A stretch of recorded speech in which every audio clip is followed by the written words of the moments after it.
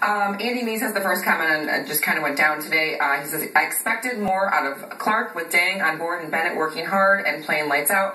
Clark became expendable. I like the acquisition of Hawes in the sense that it gives the Cavs a solid center in case Varejão's injuries are more serious uh, than we all think. Uh, it shows that Griffin is trying to stake his claim for the permanent GM job, trying to get the Cavs into the playoffs. I like the move from a number of different angles. Number one, like I said earlier, they didn't give up anything, and they got something that's going to help them this year and in the off season. And the other thing I like, actually, with what Griff did was that he didn't try and overdo it. I mean, he's trying to win this GM job. He's trying Oh, yeah. to prove to Dan Gilbert, I belong here. Don't you know go looking anywhere else. And he could have you know really blown up the team just to try and show Dan Gilbert. But I think he did the best thing for the organization in helping them this year and next year and not overdoing it. And you're right, it would have been easy and to do all that. And I think everyone was expecting that, let's be honest. I didn't think it was just going to be that one, not huge move, you know. Right. And um, obviously it's funny because they're on a six game win streak right after, I mean, you fire the old GM. I know that it really is. I mean, is it him?